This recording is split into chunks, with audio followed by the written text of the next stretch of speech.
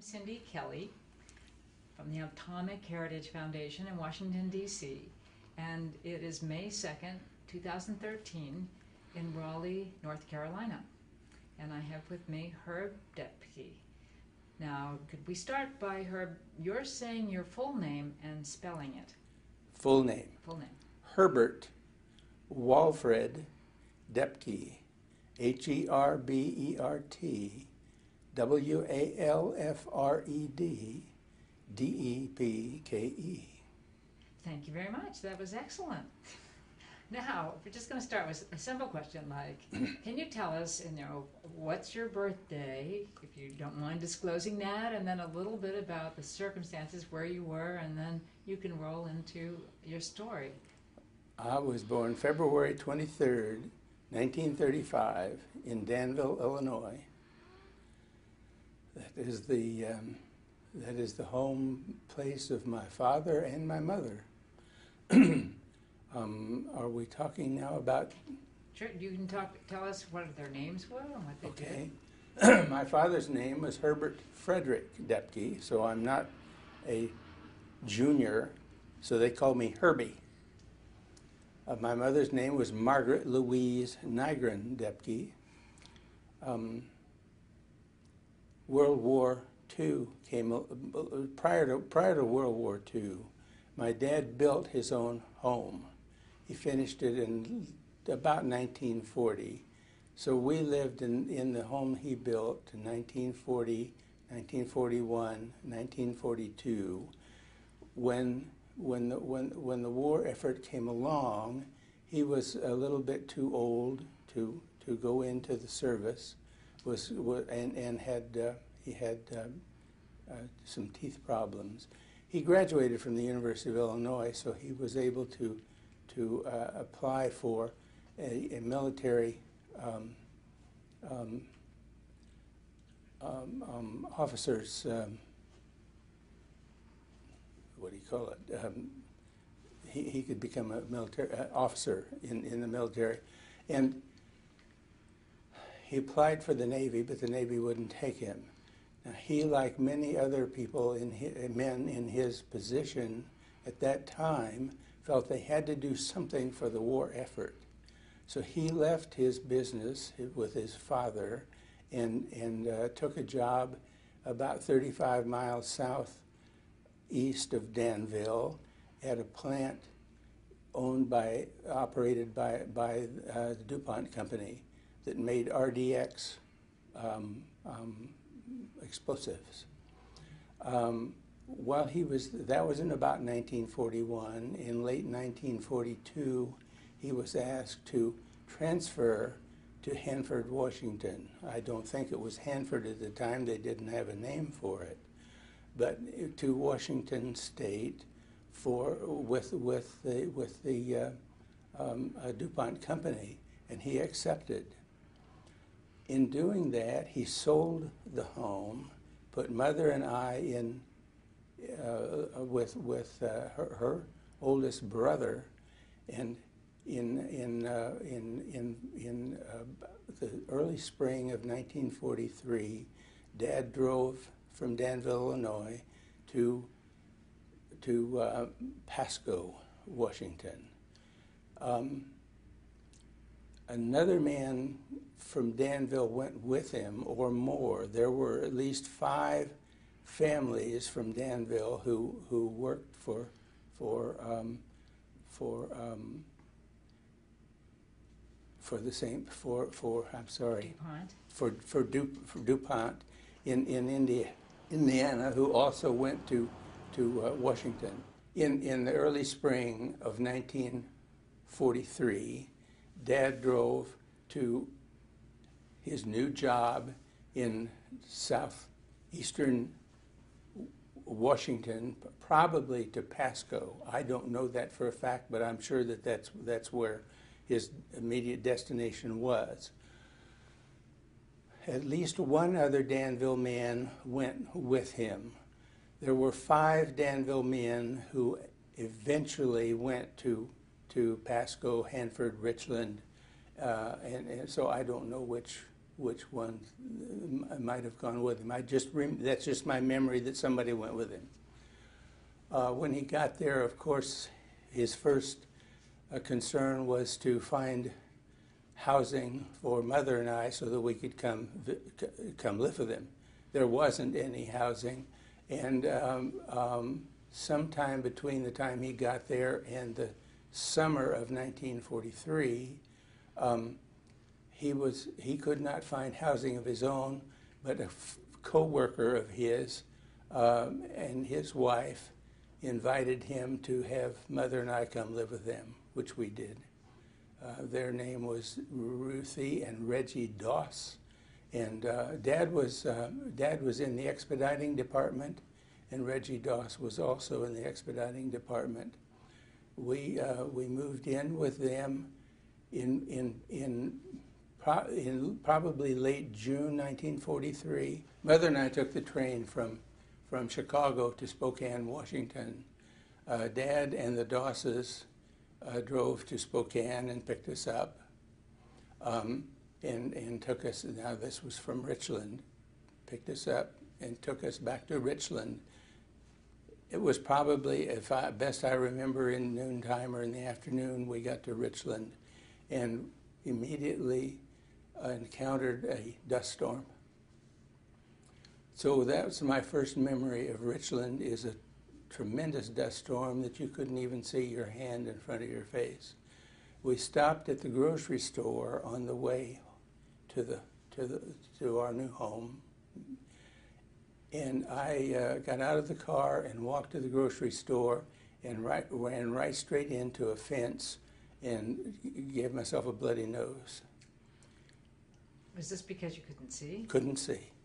Absolutely could not see. It was a it was a, t- a two by six on on uh, on um, um, rebars that they had as a, as a fence uh, in in front of the uh, the grocery store, and I walked right into it, and it was just exactly the height of my nose.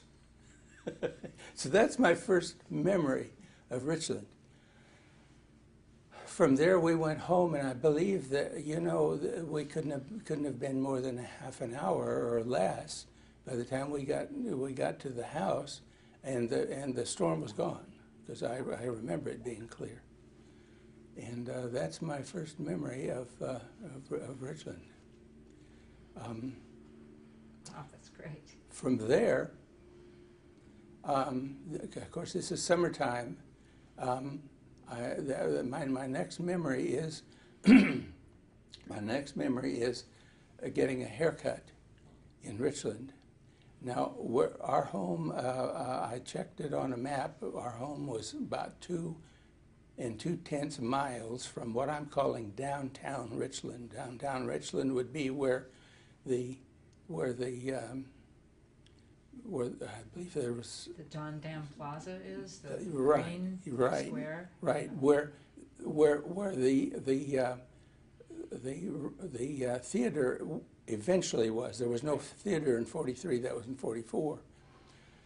but at any rate, um, I walked from home to to what I'm calling downtown Richland by myself. I'm I'm about eight years old. It was a very straight um, uh, route, so you know I didn't get lost or anything like that. But I got to the to the to the um, to, to the the um, barbershop, and I wanted a short haircut, and I didn't know what to call it and what to tell them, but they cut my hair exactly the way I have my hair now, very short, and I'd never had short hair. It, as I said, it was in summer, very hot, and walking back home, I got a sunburn on the top of my head and mosquito bites. And that's my second memory of, of Richland. Um, of course, I remember the house very well. It was, it's called, as I know now, a B home. That was a duplex, one-story duplex. We lived on the, on the, as you faced it, on the right side. Uh, I remember the layout of the, of the house very well. I remember the, the basement, uh, for some reason, I have a particularly good memory of the basement. And there was an area there to, to, to store uh, kindling wood to, to start fires because it was a coal fired furnace. Now, when we were first there, it was summer, but winter did finally get there. And, and I, I remember the kindling. I do not remember where the coal was, and I don't remember ever doing anything with the coal-fired furnace, uh, like bringing the the uh, clinkers out. You know that had to be done daily, and whether we spread them in the backyard what we did, I don't know. There was no, absolutely no um, grass anywhere. None whatsoever. Any place you could not see grass. Because this is, you know, right out in the desert, brand, all brand new. the next thing I remember is I, I started the, the, the third, the third grade in, in, in Richland. And there was a choice of, of going in the morning or the afternoon. Uh, I don't know whether I whether it was a choice or whether they just gave you the the deal. But mine was in the morning, and I had to get up very early. It was dark. I don't know whether it was five or six o'clock, but you got, you got on a bus and went to school. Um, the the building we went to school was was not a schoolhouse type of thing. There was a big room with long, uh, a, a, long, uh, um, uh, like a folding tables, like you know the three by six, whatever, and we just sat around those tables. Now my memory is just one snapshot of that. I had to have gone there from, from, from the fall of, of, of 1943 through the spring of 1944, but I don't remember anything other than the first time the bus took me home and I got off of the bus and the bus was about two blocks from my home as best I can remember. And when I got off of the bus I looked around and all of the houses are identical and I have no idea which one is mine and I don't know I guess I found my mama because here I am but but that was scary. And that's probably one of the biggest memories I have of, of Richland, being scared getting off the school bus. There was no other no other um, um, public transportation in 1943. The men, you know, like my dad had his car, but he had to drive from Richland to Hanford and back every day.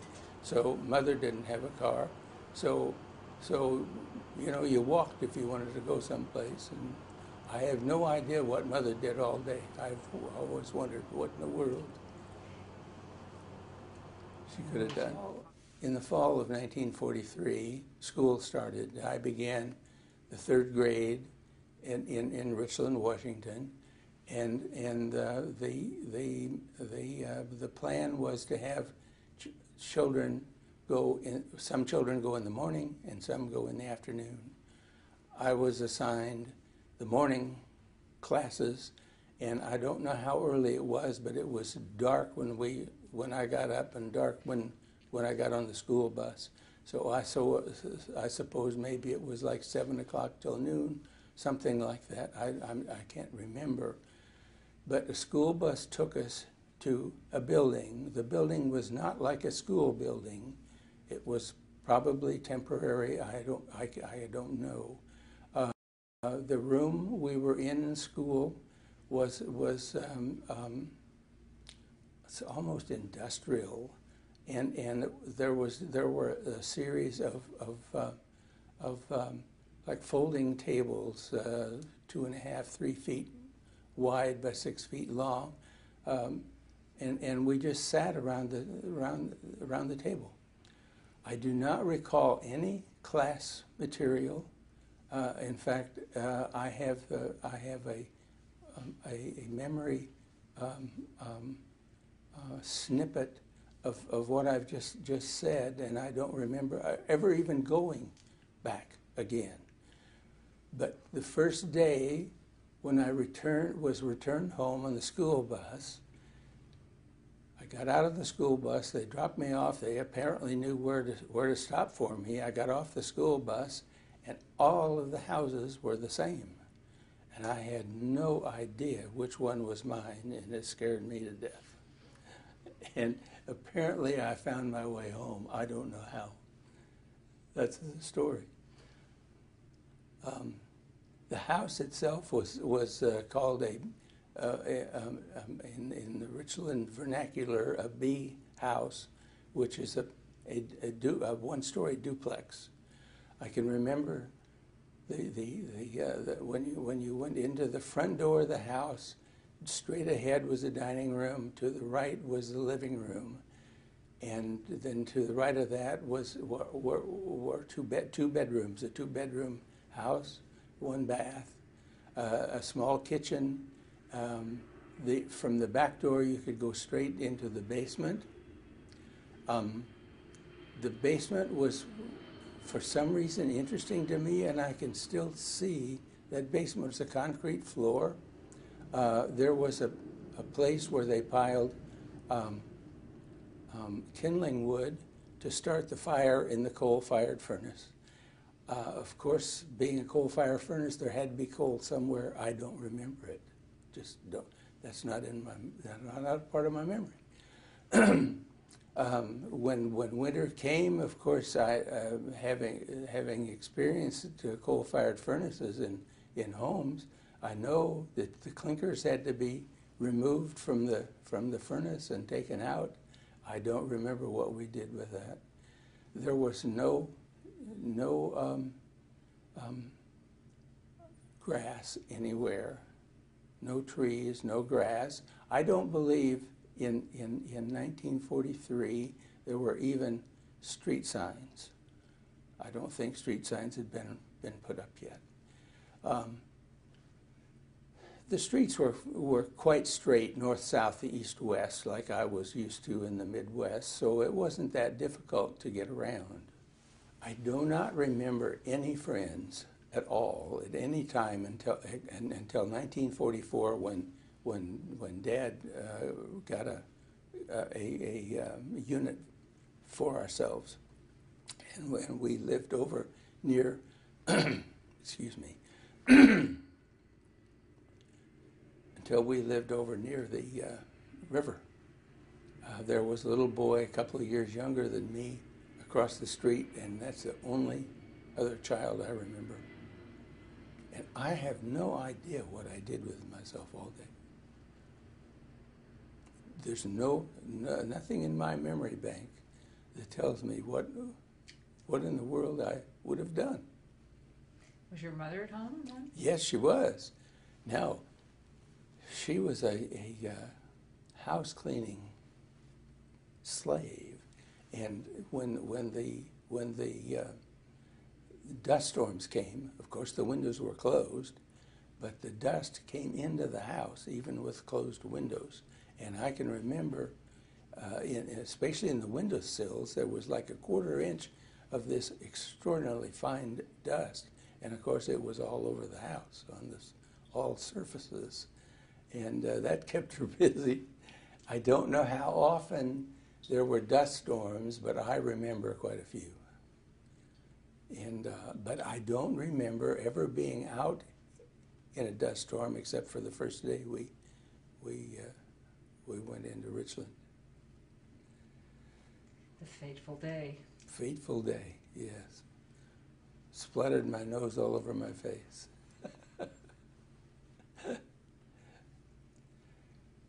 So, did your mother talk about Richland later after you No. see And- my mother? My, uh, my, my mother did not. My mother didn't did not talk about about uh, about Richland. Um, uh, the people we lived with, the Dosses, um, uh, um, Ruthie Doss, got pregnant. Um, um, uh, maybe uh, in, in the fall of 1943. That word was never used then. That's a, that was a dirty word then. People didn't use words like that. Pregnant. And I'm only eight years old. I'm not sure I know what's going on anyway. But at any rate, the, the, the reason I bring it up is because at that point, they were not going to have room for us to stay with them, and we were going to have to do something else. We, uh, mother and I, as best I can remember, went back to Danville Christmas of 1943. I don't know, maybe she was lonesome for home. I can't think of any other reason. We came back to, to Richland. I know we came back to Richland. We lived in that house. Um, uh, certainly in the spring of 1944, because Dad took a long weekend. We drove to Moscow, Idaho, which is not really not very far from from from Hanford. We drove we drove from Richland through the Hanford grounds. I can remember uh, the the uh, going through the uh, um, they they stopped us. Say the word. Through the reservation, Say, secured area. security the, the security to, to get to get into Hanford. And what I remember is the main thing they wanted to discover was whether or not we had a, a camera. Cameras were just absolutely no, no, no. And, and, and uh, as best I can remember, we didn't have, but they did search the car before we went into, in, in through Hanford. We drove through Hanford, out the north end of Hanford, across the Columbia River on an old iron bridge. I can remember it quite well, and then drove northeast to, uh, to Idaho. My dad had a fraternity brother who was in charge of, of the uh, of, uh, of uh, music, the music department at the University of Idaho, and we spent Easter weekend there. So I that's how I know exactly when when it was. Sometime shortly after that, Mother and I went back to Danville because the Dosses needed the space for the ensuing baby. Mother and I remained in Danville until I finished school, the third grade in Danville, and came back to to to Richland uh, in the summer of 1944. um, I remember by then there was public transportation buses, and I think it was five cents if I remember correctly, five cents to ride the bus to town. there, there was no, there was no um, um, postal service. You had to go downtown, and you had a post office box, and you went down there and picked up the mail.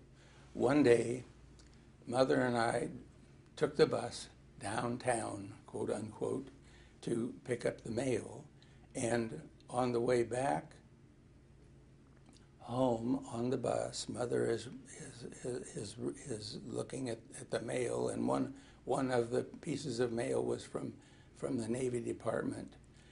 she opened it, and Dad got his his Navy um, commission, and I can remember she cried because you know Dad's going to war. So almost immediately after that, we we left Richland. Dad um, um, went into naval Navy training, naval officers training. happened to be in Tucson, Arizona. But the important thing to to to from, to me to to recognize is that Dad went into the Navy, trained for the invasion of Japan. Now he had been working in the Manhattan Project, the invasion of Japan, had it transpired, my dad trained as a, as a port director. Now, a port director is a fancy name for the guy that goes on the beach and directs the invasion. He wouldn't have lasted long in that war. So the atomic bomb saved his life. And that is the irony of the story.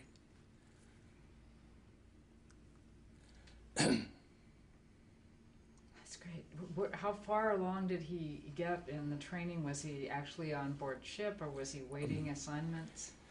Remember? He left, he left for overseas about a week after VJ Day.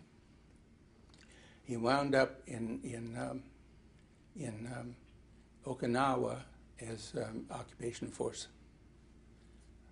And um, he was there for less than a year and uh, uh, came home in 1945.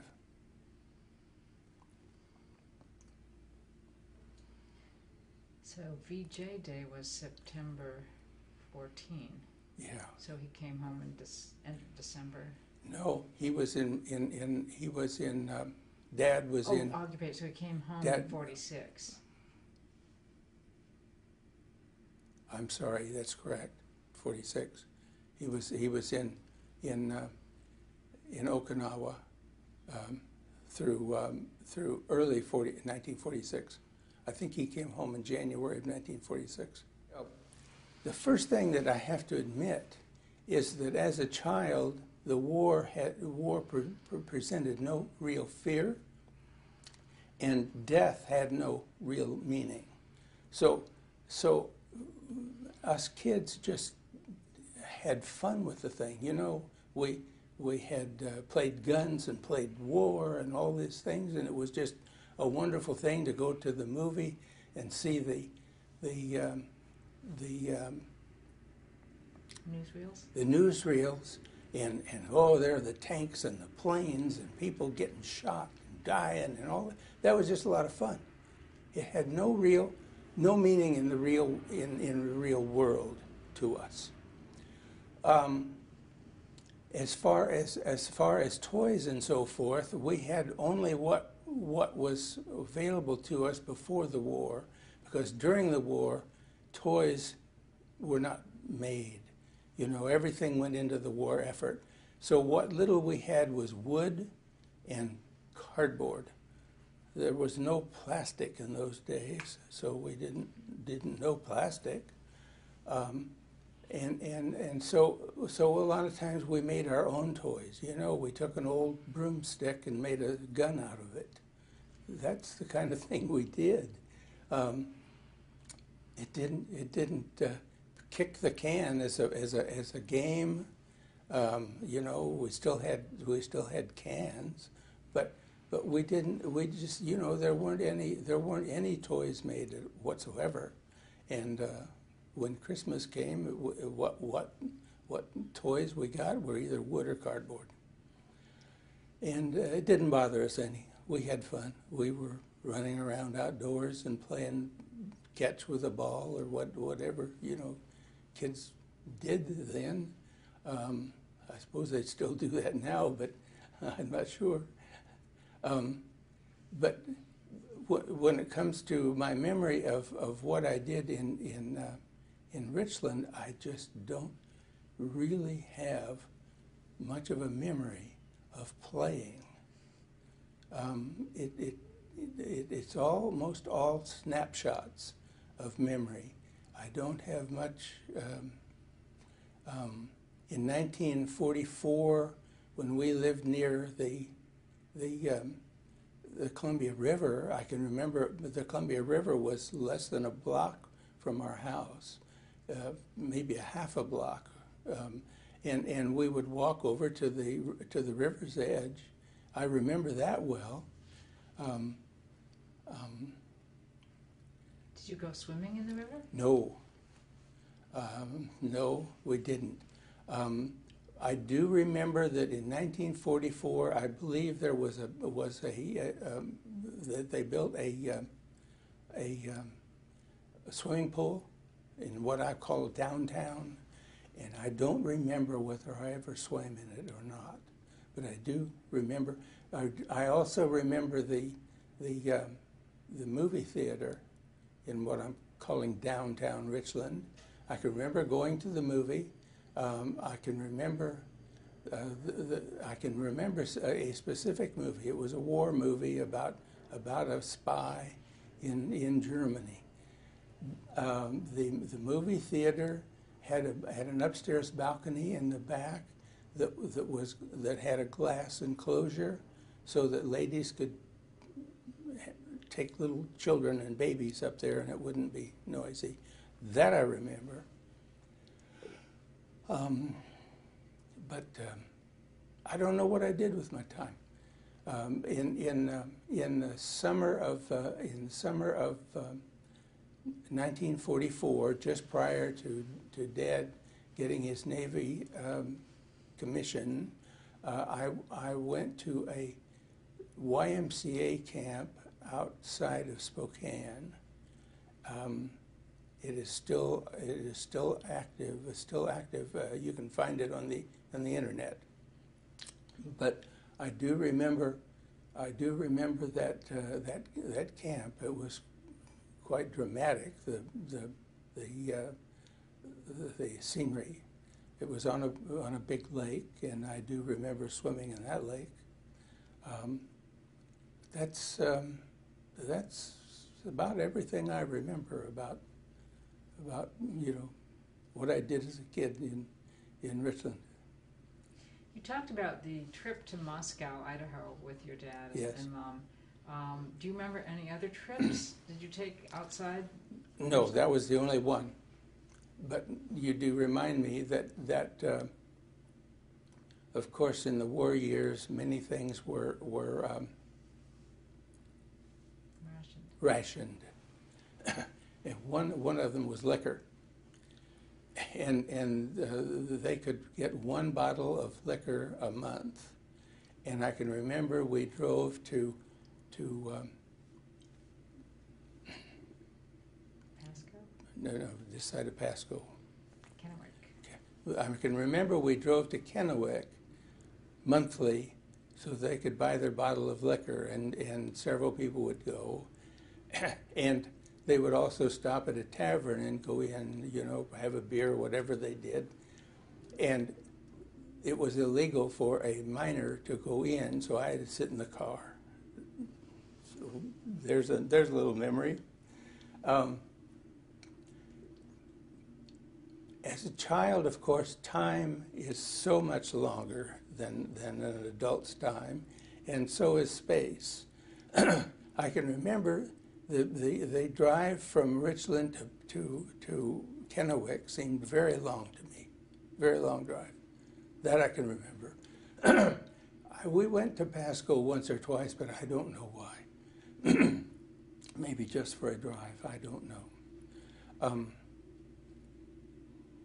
but but Kennewick was a long, long ways away. Just you know, Can you tell us about the car that your family had? That was unusual, wasn't it? To have a car? um, well, of course, my dad drove the family car out there, and that that was the car. It was a. It happened to be a four-door Chrysler. It was a big car, uh, I, and I remember it well. I have a picture of it. Um, um, I don't know at this point, uh, mention the license plate on that car. Uh, in, in 1945, my, my dad and mother and I were in Danville, Illinois, our home, home city. Um, and there is a photograph of my dad in his Navy uniform with my mother. And, and the back of that car is in the photo and the license plate is Washington 1942. That confused me for years and years. I said, Dad must have been there in 1942. What is, what, what is wrong with the story? Uh, when, when, uh, when I finally was able to read, read um, uh, Groves' book, um, Now It Can Be Told, and, and I discovered that, that things didn't start there until 1943. I said, what, what is this 1942 thing? I finally remembered really fairly recently that because of the war, during the war years, they did not make license plates after about 1941 or 42. So the 1942 license plate was the only plate available to him, and that's why it was a 1942 license plate, because metal was not used to make licenses, you know, because of the war. So dad, dad was sworn into the Navy in Spokane, and there is Spokane, Washington, and there I, I, I have the uh, the uh, the news article from the Spokane paper. For some strange reason, I can't imagine why the Spokane paper put an article in there that Herbert F. Depke of Richland, Washington, uh, was uh, sworn into the United States Navy.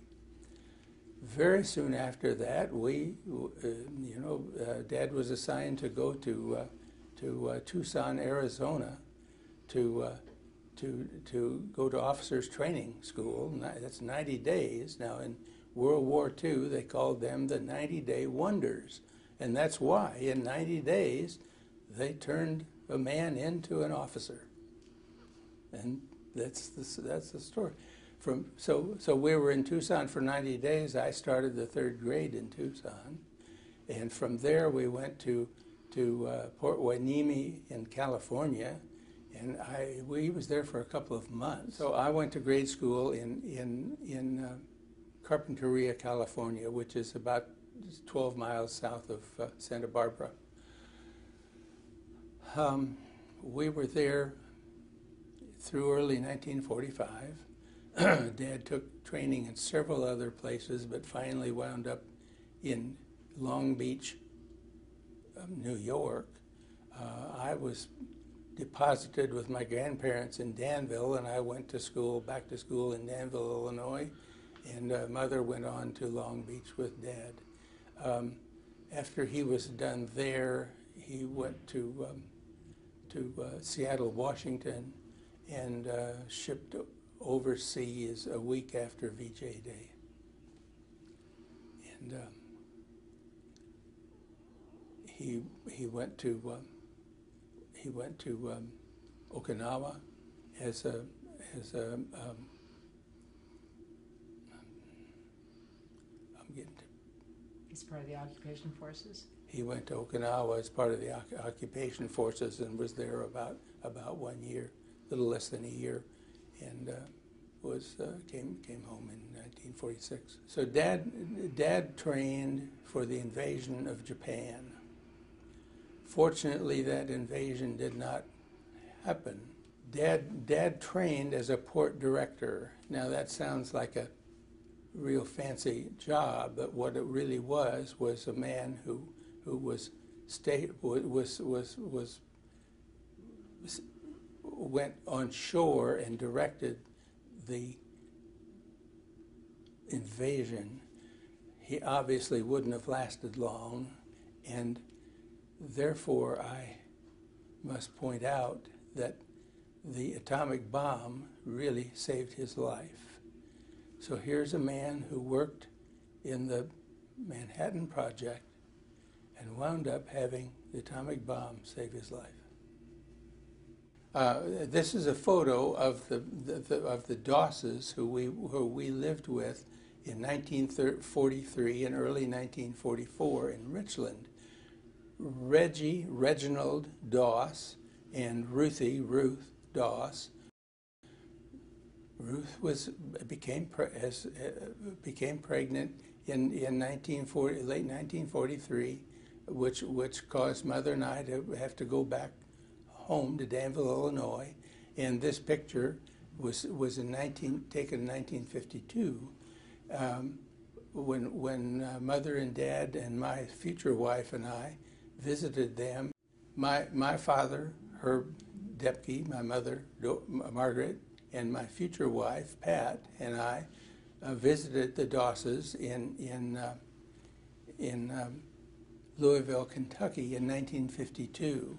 And the little girl who was the who was the baby to be born, uh, was, was, there. And she's in the, in the photograph. Any other members of your extended family who were involved in World War II that might have been affected by this atomic bomb? Not directly. My my mother's my mother's um, brother was in the Navy. Two brothers were in the Navy, uh, but one uh, one um, was in uh, the South Pacific, and uh, the other one uh, um, did, did uh, was was stationed in the United States the whole time.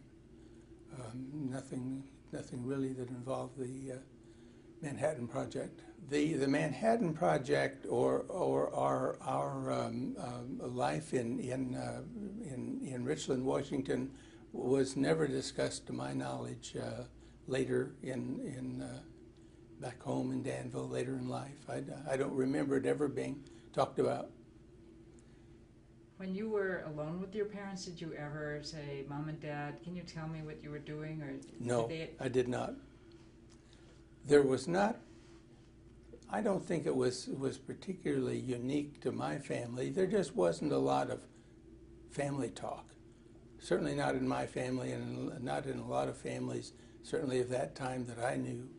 Um, it just it just that kind of uh, of uh, that kind of uh, conversation just didn't happen. I don't know when I realized that Dad had anything to do with it with the atomic bomb or even the Manhattan Project until much later in life.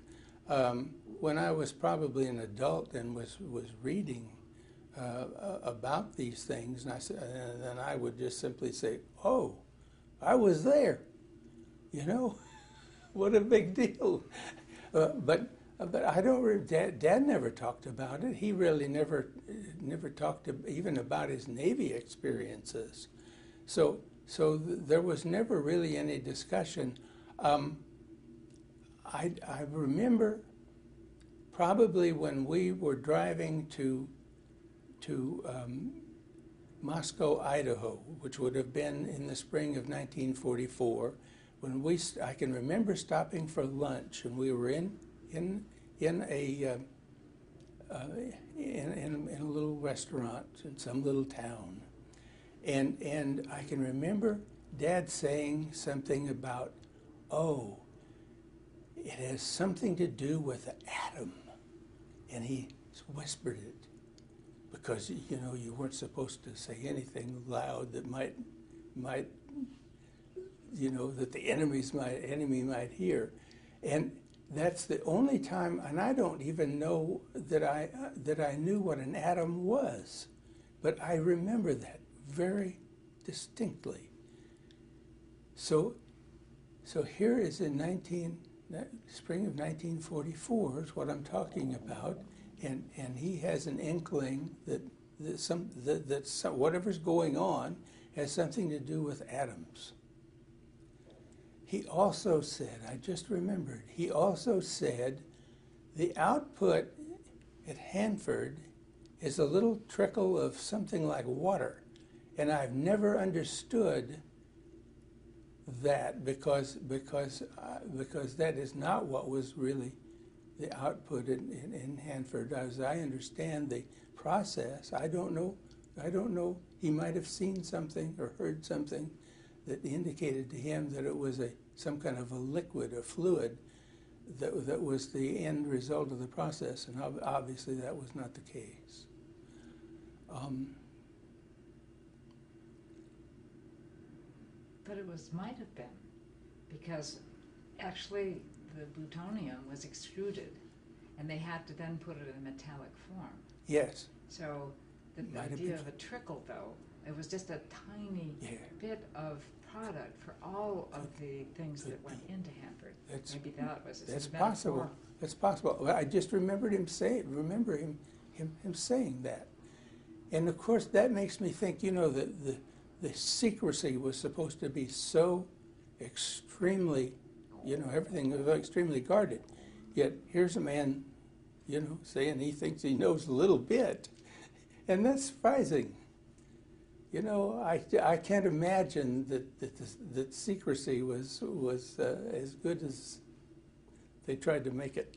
Of course, we know that the Russians knew all along from the, from the uh, spies, and, and uh, I just chuckle when I think about all of the, all of the extraordinary effort that, that was made in secrecy that I just wonder how secret things were. I'm not sure. Yeah, but you have to think about hundred and thirty thousand people. Well, yes. There I were mean, three, or maybe there were three dozen spies, but there, that's a tiny fraction of the hundreds of thousands of people. Of course, but the but the Russians knew what we were, what we, they had to do, and you know it's the old story. If you want to keep a secret, you just don't tell anybody. One person is one too many, and uh, I, when when they talk about uh, Harry Truman did not know this was going on until he became president, I find that hard to believe just, it's just uh, rather incredulous. I don't know.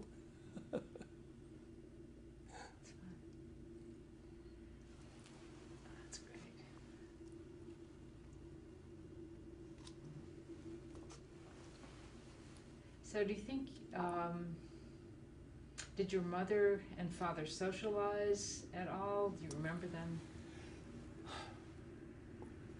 I don't believe they did. At, at one one weekend, they went somewhere and left me with with uh, uh, other another family from Danville who who were who were in Richland. I have a photograph of, of that, that they gave me of myself on their back porch, and I have often wondered where was it they went for that weekend. You know, they're didn't thinking about thinking about the the, the region and and the war time, I can't imagine where they where they went that weekend. I never asked, and so I won't know.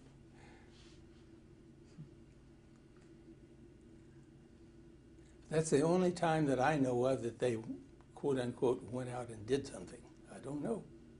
I don't remember. I have often wondered why it is that my my memory is so limited uh, as I've said, um, um, it seems to be snippets or uh, um, just uh, still photographs of certain things that I that I remember, and then there are long periods of I have no idea, and and uh, eating a meal. This is rather strange to me. I don't remember ever eating a meal in Richland, Washington. You know. It, going to a table and having breakfast and dinner, supper is not part of my memory. Do you, did your dad not come home for dinner? You know, I don't remember that either. I believe that he came home every night from, from Hanford because I, I don't think he had a place there to stay. Uh, I believe all of the all of the men who worked in Hanford and had homes in Richland drove to Hanford and came home every night. Now that is rather interesting because gasoline was rationed, and we're talking about, I don't know, what a 50 mile round trip? I, I can't remember exactly, but it's something like that. It's maybe 25 miles or so from, from Richland to Hanford. So, so that's a 50 mile, approximately 50 mile round trip five times a week. That's a lot of gasoline. It's just interesting. I don't, I don't know what it means, you know. So tell me, you said your dad was an expeditioner or ex- Expediter. expediter. hmm Um, do you know any more about what that job entailed? Expediters followed up on the purchase of goods. Uh, the only specific thing I can remember is that Dad told me, and this was a number of years later. So, so I'm sorry to say that I, I'd forgotten that he did talk about it later. He said he remembered they lost. It was either a railroad car or an entire train of stainless steel um, uh, fittings. And they just drove themselves nuts trying to find that car or train. And eventually they discovered it was right there in Hanford all the time. Interesting. That's and to best of my memory, that's the only thing that I that, that I directly know about about expediting. I've forgotten the number, but I think they had something like 500 miles of track on the site, so it is. Yeah, well, they they lost small. either a car or a train. I don't remember which it was. it was right there, right under their nose. Well, looking back on, on your family, because obviously you were too young to say you were involved, but you know your your father's involvement in the atomic bomb and creating that. How does that make you feel after all these years? Um, I think Tom Brokaw's book, the what generation? The greatest. greatest generation, made me stop and think about that question specifically. And I don't in, I don't mean to, to make a, a, uh hero out of my father at all. He was typical of the men of the time. he couldn't go directly into service. He could, well, of course, he could. No, he, he, he, he couldn't go directly into service. Therefore, he sought what, what, was what they call war work. They went to, to factories where they were doing war effort work. When, when he was asked to transfer from, from the Indiana, from the, from the, from the DuPont Indiana plant to, to Washington, he sold his home that he had just built his, himself by his own labor and and and uh, and left that home and and and went to went went to Washington to to work as, as he was asked to do. Um, I look at that as a pretty big choice to make. You know, a, a, a, a, um, a um, pretty big um, Sacrifice? sacrifice. Yeah, pretty, pretty big, pretty big sacrifice. And and they did those things. Uh, he was not alone. People, that's what people did. You know, they were um, they were. Um, I'm sorry, Civic minded, um, patriotic? patriotic. Yeah, they So why don't you? Right. Um, this this was this was the norm for people then. They were patriotic, and uh, they just did what they thought needed to be done. No no thought, no you know they didn't no no personal thought. They just did what they thought had to be done.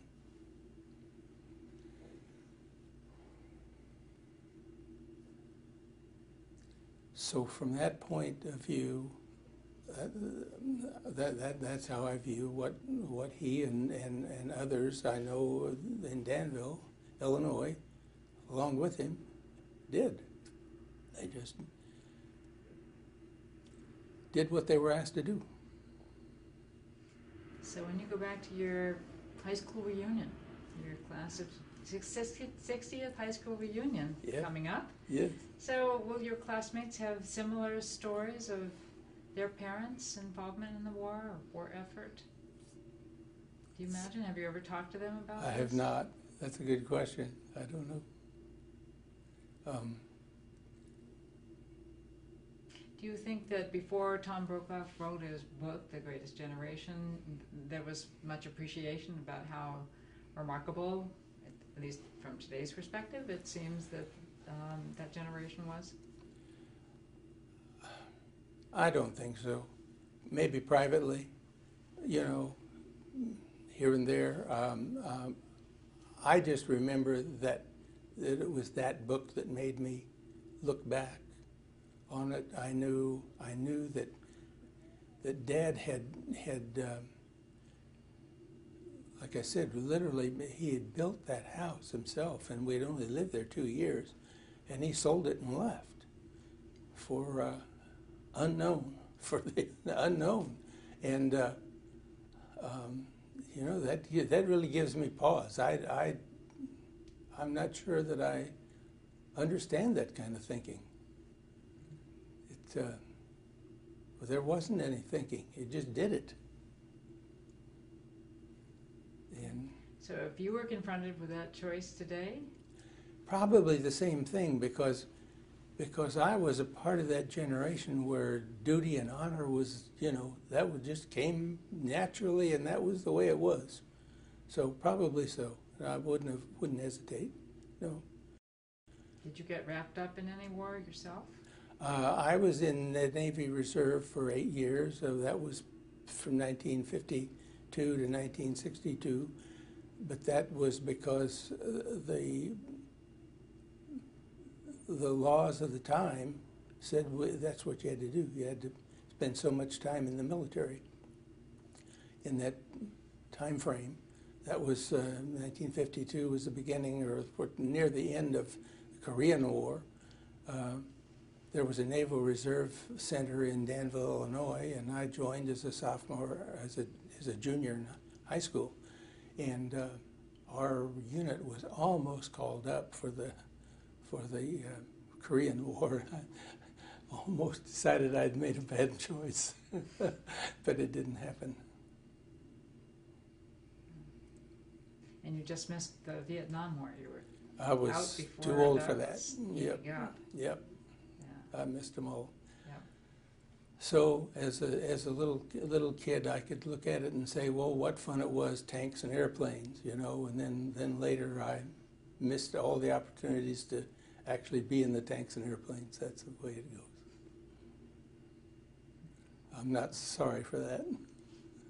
The train, the train trips from Chicago to Spokane will always be some of my best memories. That was a four-day train trip, and and it was just marvelous. I mean, you know, uh, the clickety clack of the trains. You know, today you can't even get a clickety clack on the on the tracks because they're continuous rails. But back then, you had the clickety clack of the of the of the of the, of the rails, and it was and and the the, the, the service uh, for breakfast and dinner and supper, you know, um, everything was very formal and um, was just a wonderful uh, experience. And I had that four times, you know, going back and forth from, from, uh, from, from uh, Washington to Illinois. And that is a really strong memory. So did you have a, a sleeper berth? We did every every every. There were different kinds, and we had every kind there was. There was a called a roomette, I can remember, and there was a sleeper, and there was a berth, and I, there was something else. We had we experienced each all of them over the various times. Yeah.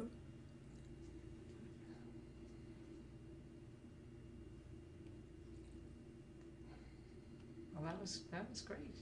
I don't know. If there's anything else I should be, or that you'd like to talk about, or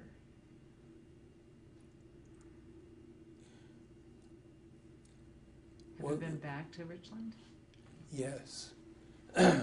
My wife and I eventually went into the craft instruction book publishing, and this was in the years of in, in the in the mid seventies when macrame was so big, and we we did a bi-monthly newsletter called Enjoy Macrame.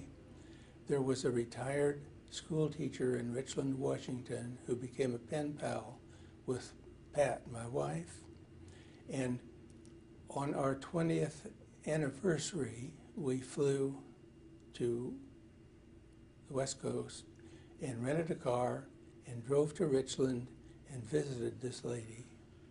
She lived in, a, in, in, in one of the B houses. And uh, it was very, quite similar. The, pro- the, the, the, the change was that there was grass every place. That's the biggest difference. Now, this was in 1975. So what was the same?